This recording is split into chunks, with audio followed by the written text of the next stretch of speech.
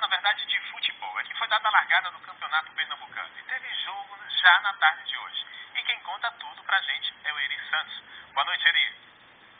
Olá, Alexandre. Boa noite a você, boa noite a todos. Isso mesmo. Começou o Campeonato Pernambucano, começou a temporada 2017 com três partidas disputadas na tarde de hoje.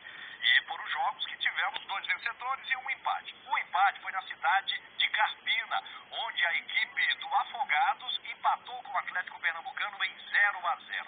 Quem venceu foi o Flamengo de Arco Verde de virada, foi contra o Belo Jardim, jogando em casa 2 a 1 para a equipe do Flamengo de Arco Verde. E a vitória mais expressiva foi o do Vitória, da cidade de Vitória de Santo Antão. Enfrentou o América e venceu pelo placar de 3 a 0.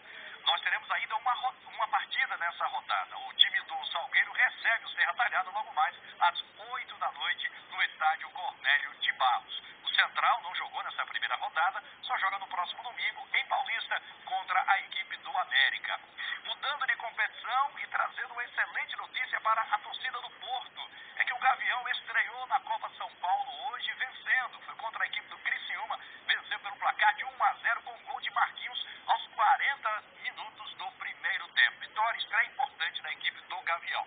E estreia daqui a pouco. 8 da noite vai enfrentar a equipe do Flamengo, tentando aí começar também, assim como o Porto, começar com uma vitória, claro, que